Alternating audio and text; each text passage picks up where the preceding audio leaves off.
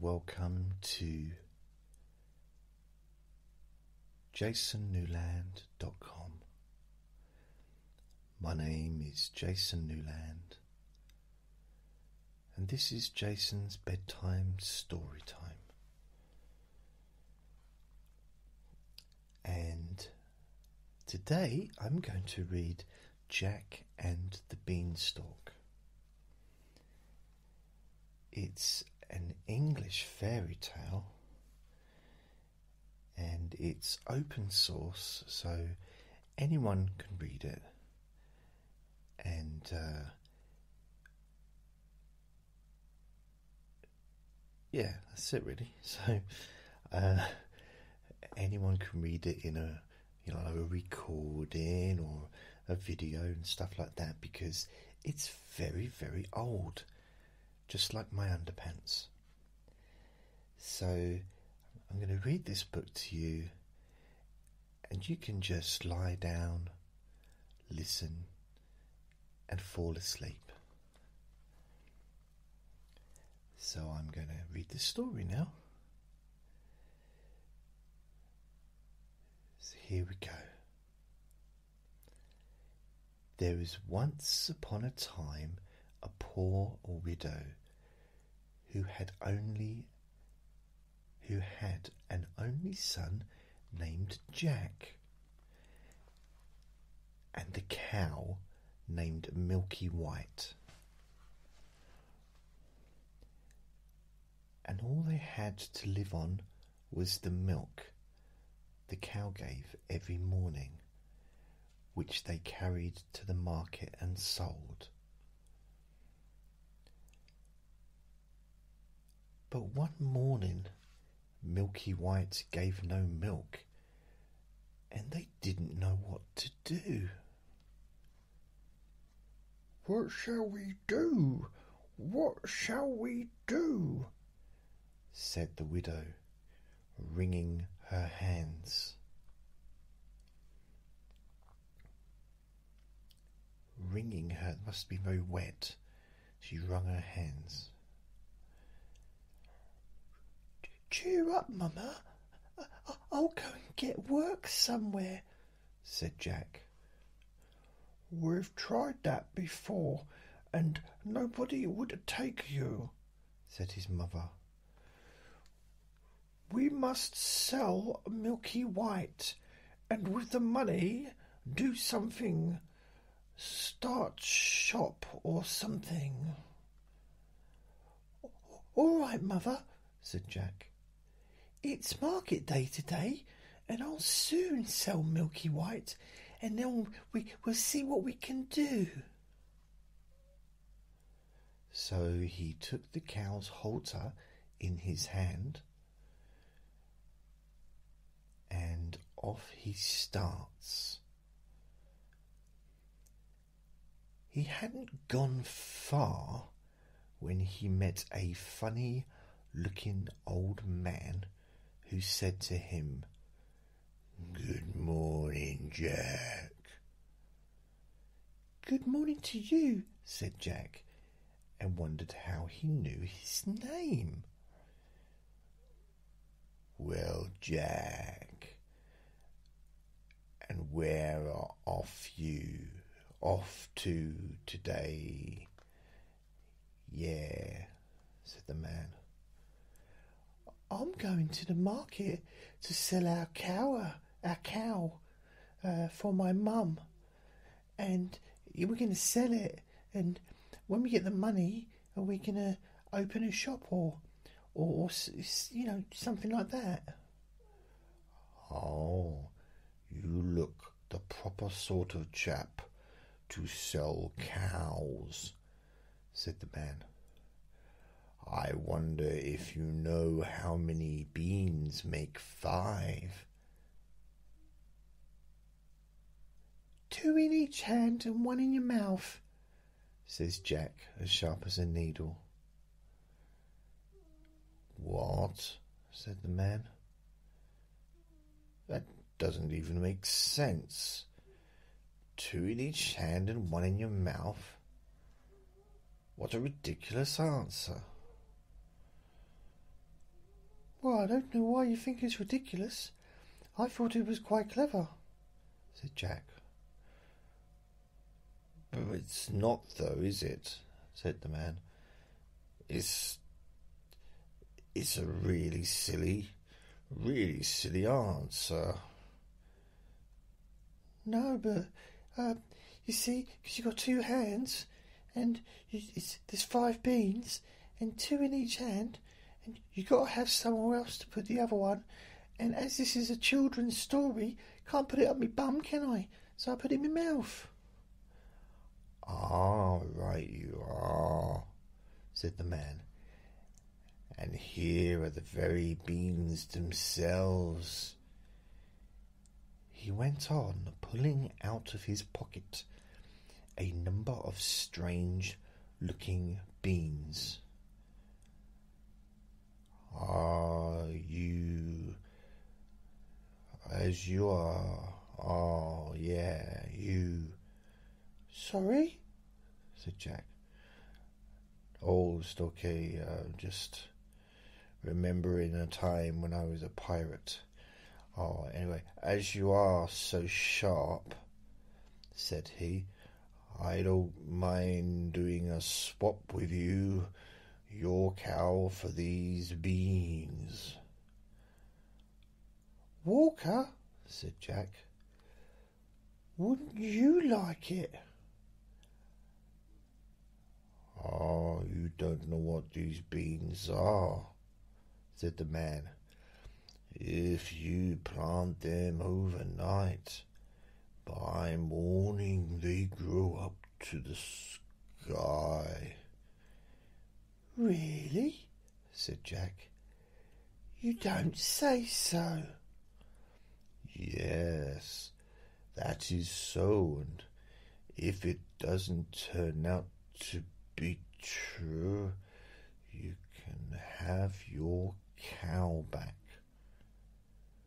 Right, said Jack. That does it. I mean, when you first told me about the idea and the offer, I thought that's ridiculous because it's a cow. I'm gonna give a, I'm gonna swap a cow for some some smelly beans that's been up your bum. But then when you explained it that way and you said that if it doesn't grow up to be uh, a big tree, go a beanstalk thing. I'm gonna have to look up what beanstalk is, but it sounds quite impressive. And um, I guess it's a stalk made from a bean. And uh, you give me my cow back. And I guess it sounds like quite a good idea. Is it okay if I if I phone my mum to find out if she's all right with it? No, we don't have time for such things. Besides, telephones don't exist yet.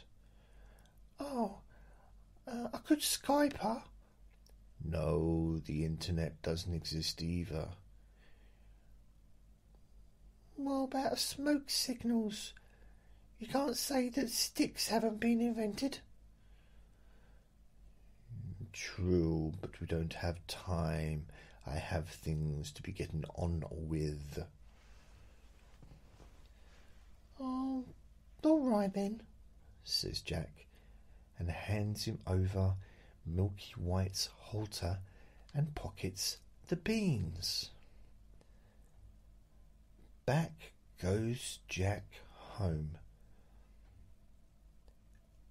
and as he hadn't gone very far, it wasn't dusk by the time he got to his door. What, back so soon, Jack? Said his mother. I see you haven't got Milky Whites, so you sold her. How much did you get for her? You'll never guess, Mamma, said Jack. No, I don't want to guess. I just want you to tell me. It's not a game. This is our livelihood. We haven't eaten for fourteen years. I need to know what did you get for our cow? We've been living on milk. I just want to know what it feels like to have a bowel movement.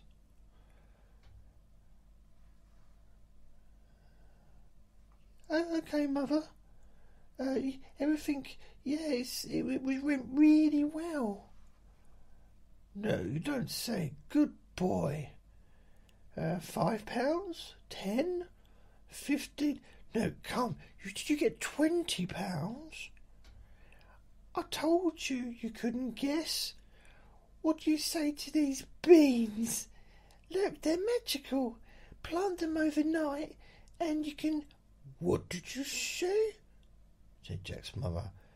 Have you been such a fool, such a dolt, such an idiot, as to give away my milky white, the best milker in the parish, and prime beef to boot, for a set of polty beans? Take that, and that, ah, And as for your precious beans, here they go out of the window. Now off with you to bed. And You're not having any milk either. Because we haven't got any. Not a sup shall you drink, and not a bit shall you swallow this very night.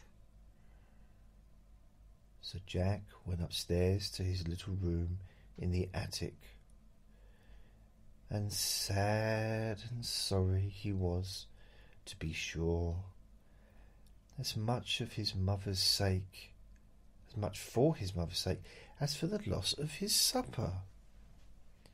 Starting to realize that actions have consequences.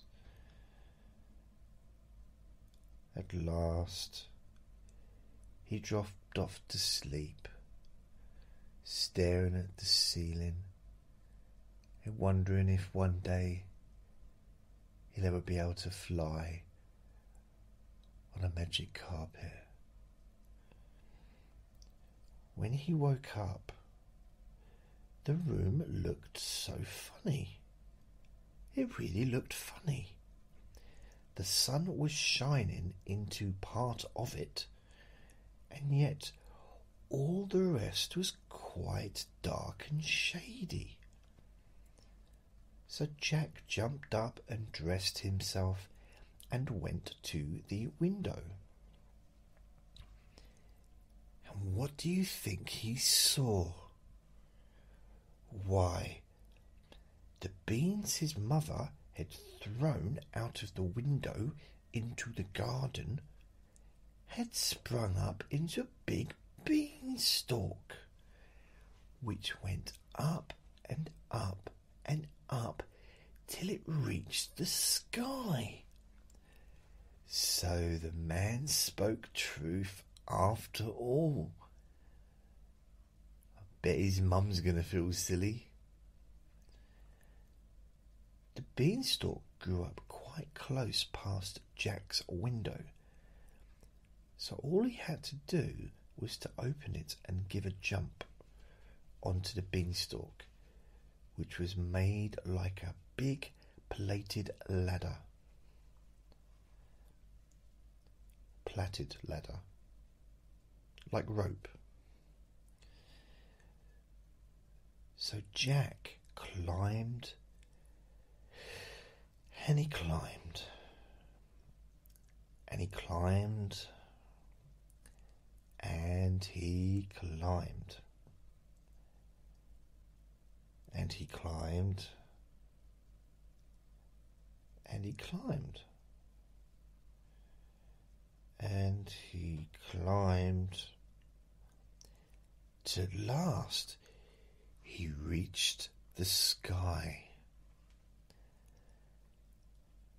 And when he got there, he found a long, broad road going as straight as a dart. So he walked along and he walked along, and he walked along, till he came to a great, big, tall house. And on the doorstep there was a great, big, tall woman.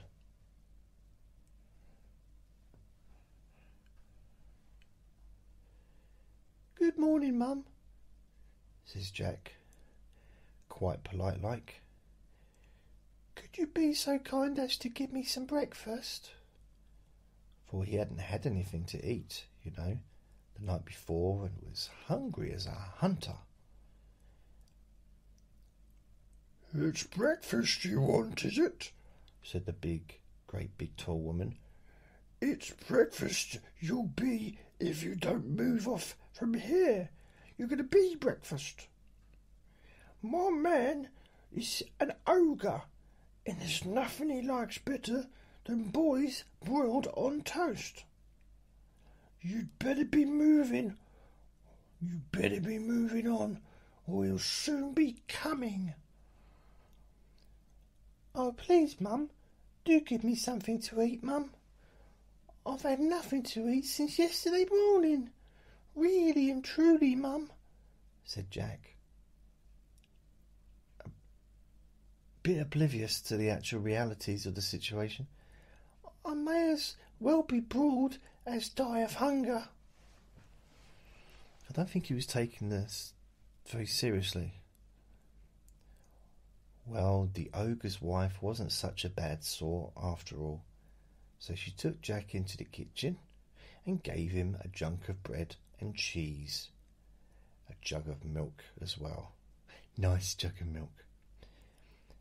But Jack hadn't half finished these when thump, thump, thump, the whole house began to tremble with the noise of someone coming. Goodness gracious me, it's me old man, said the ogre's wife. What else should I do? Here, come quick and jump in here. And she bundled Jack into the oven just as the ogre came in. He was a big one, to be sure. At his belt he had three calves strung up by the heels, and he unhooked them and threw them down on the table and said, Here, wife, broil me a couple of these for breakfast. Ah, that, that, mmm, lovely. What's that I smell? Fee, fi, fo, fum, I smell the blood of an Englishman. Be he alive, or be he dead, I'll have his bones to grind my bread. Nonsense, dear, said his wife. You're dreaming. Or perhaps you smell the scraps of that little boy you like so much for yesterday's dinner. Here, go, go you and have a wash and tidy up. Mm, by the time you come back, your breakfast will be ready for you. So the ogre went off, and Jack was just going to jump out of the oven and run off when the woman told him not, not to. She said, Wait, wait till he's asleep, she said. He always has a snooze after breakfast. Well, the ogre had his breakfast, and after that he goes to a big chest and takes out of it a couple of bags of gold and sits down counting them till at last his head began to nod and he began to snore till the whole house shook again with the snoring. Then Jack crept out on tiptoe from his oven and he was passing the ogre.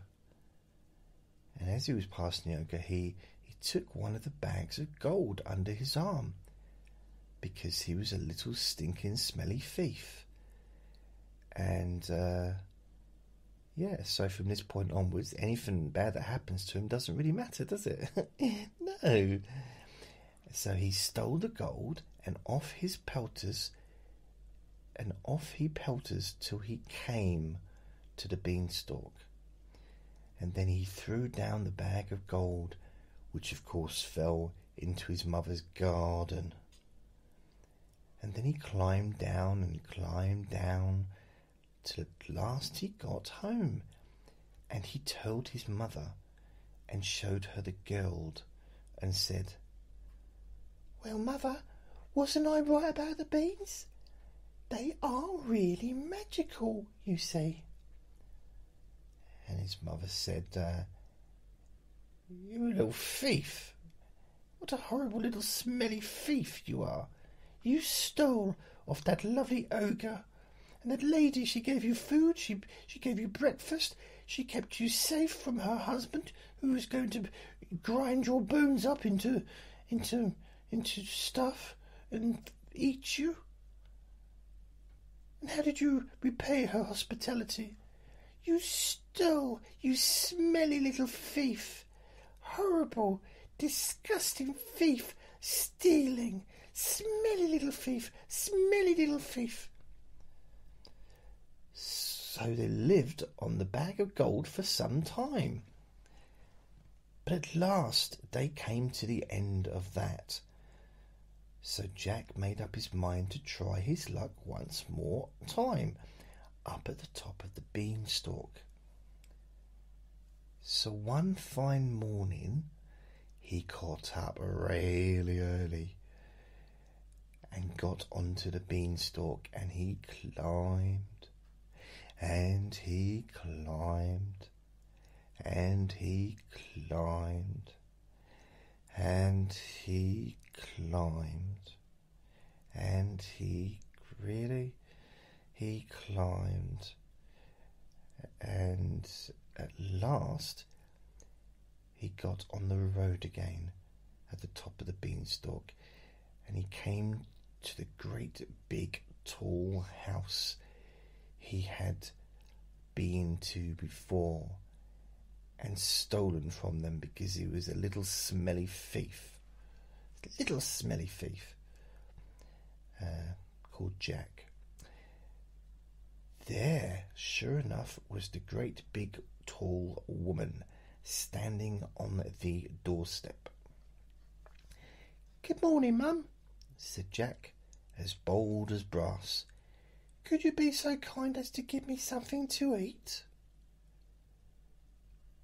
Go away, my boy, said the big tall woman, or else my man will eat you up for breakfast. But aren't you the youngster who came here once before? Do you know that that very day my man missed one of his, his bags of gold? It's almost like it was stolen from a little, little smelly thief. A little smelly thief. That's strange, Mum, said Jack. I dare say I could tell you something about that, but I could tell you something about it, but I'm so hungry I can't speak till I've had something to eat. Well, the big tall woman was that curious that she took him in and gave him something to eat. But he had scarcely begun munching it as slowly as he could. For some reason, he was decided to eat really slowly. When thump, thump, thump, they heard the giant's footstep and his wife hid Jack away in the oven again. Back in the oven. All happened as it did before. In came the ogre as he did before. Fee fi fo fum. He had his breakfast of three broiled oxen. Then he said, Wife, bring me the hen that lays the golden eggs. So she brought it, and the ogre said, Lay. And it lay an egg. Probably out of fright because it was, you know, it's just a, a normal chicken, really. Well, not normal chicken because it laid golden eggs, but the ogre was pretty big.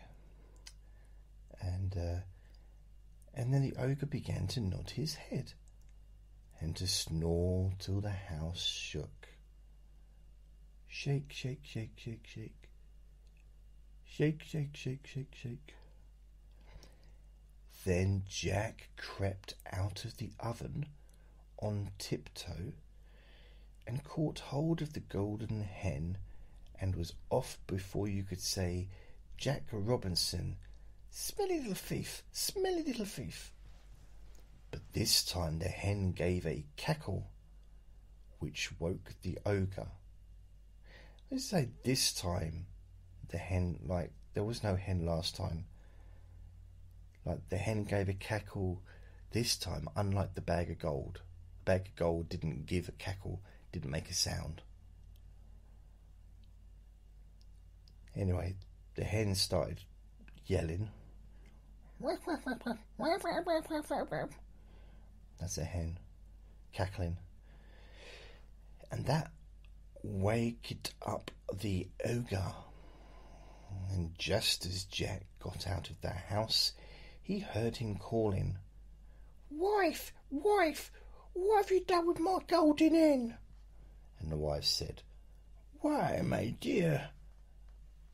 But that was all Jack heard, for he rushed off to the beanstalk and climbed down like a house on fire.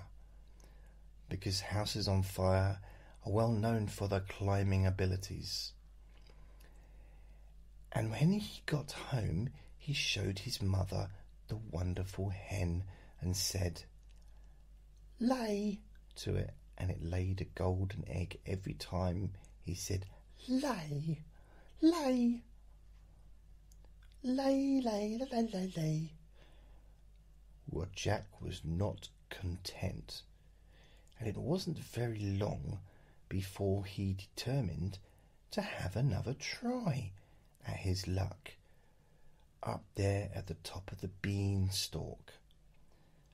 So one fine morning he got up early and went to the beanstalk and he climbed and he climbed and he climbed and he climbed till he got to the top.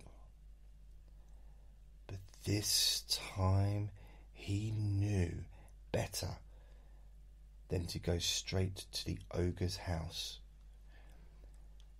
And when he got near it, he waited behind a bush till he saw the ogre's wife come out with a pail to get some water. And then he crept into the house and got into the copper. Not quite sure what the copper is. Uh, something made of metal, I suppose. Maybe it was the oven like before, I'm not sure. He hadn't been there long when he heard thump, thump, thump as before, and in come the ogre and his wife. Fee, fi, fo, oh fum. I smell the blood of an Englishman, cried the ogre. I smell him, wife.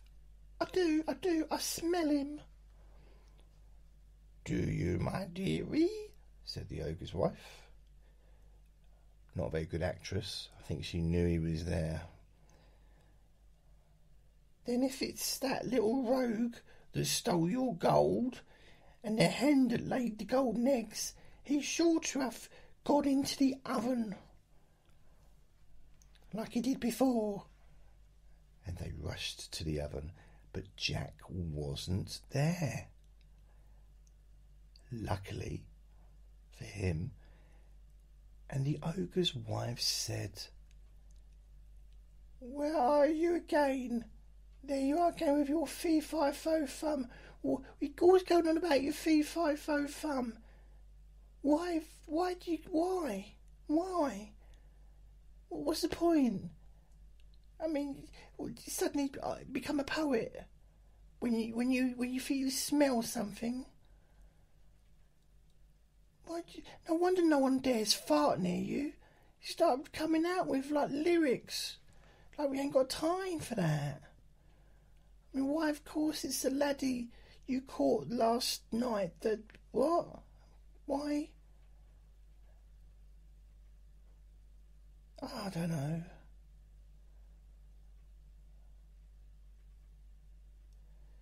Uh, oh yeah, it must be the the laddie you caught last night, innit? That's what it is. That's what you're smelling. I lost track there. Too much ad libbing. And I brought him for your breakfast. He's nice and broiled. How forgetful I am. And how careless you are not to tell the difference between a, li- a live un and a dead un. My cooking's not that bad, you know. You could do far worse than me. I never appreciate it. When, I don't ever buy me flowers. Huh? Just a thank you now and then. Huh?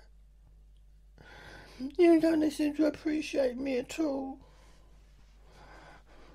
I want marriage counselling. So the ogre sat down to the breakfast and ate it. But every now and then he would mutter, Well, I could have sworn. And he'd get up and search the larder and the cupboards and everything. Only luckily he didn't think of the copper. That copper. To this day, no one knows what a copper is, but luckily Jack hid in it. After breakfast was over, the ogre called out, Wife, wife, bring me my golden harp. So she brought it, and she put it onto the table before him.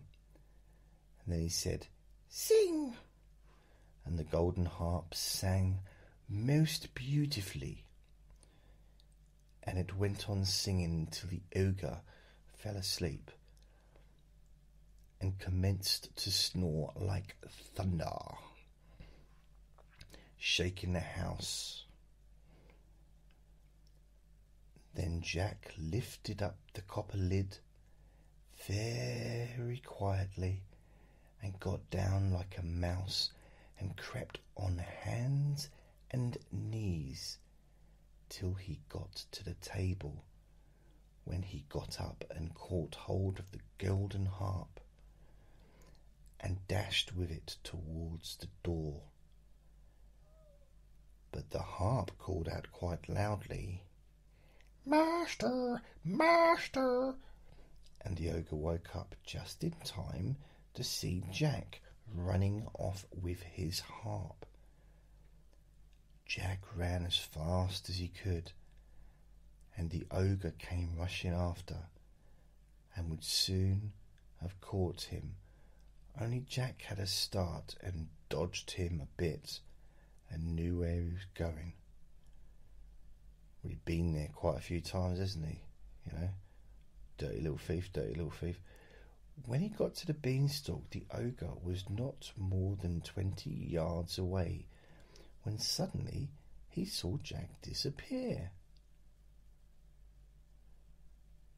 And he couldn't understand it. Where did the dirty little thief go? He's just disappeared. And when he got up to the end of the road, he saw Jack underneath climbing down for dear life. Well, the ogre didn't like trusting himself to such to such a ladder. Uh, he didn't know if he could take his weight, and he stood and waited. So Jack got another start. Got further away, but just then the harp cried out, Master, master. The ogre decided then, ah, I've had enough of this. Yeah. And the ogre swung himself down onto the beanstalk, which shook with his weight. down climbs Jack, and after him climbed the ogre. By this time, Jack had climbed down and climbed down, and you got it, he climbed down till he was very nearly home. So he called out, Mother, mother, bring me an axe, bring me an axe. And his mother came rushing out with the axe in her hand. But when she came to the beanstalk, she stood stock still with fright, for there she saw the ogre just coming down below the clouds. But Jack jumped down and got hold of the axe and gave a chop at the beanstalk, which cut it half in two. The ogre felt the beanstalk shake and quiver, so he stopped to see what was the matter. Then Jack gave another chop with the axe, and the beanstalk was cut in two and began to topple over. Then the ogre fell down and broke his crown, and the beanstalk came toppling after. Then Jack showed his mother his golden harp, and what with showing that and selling the golden eggs, Jack and his mother became very rich, and he married a great princess, and they lived happily ever after.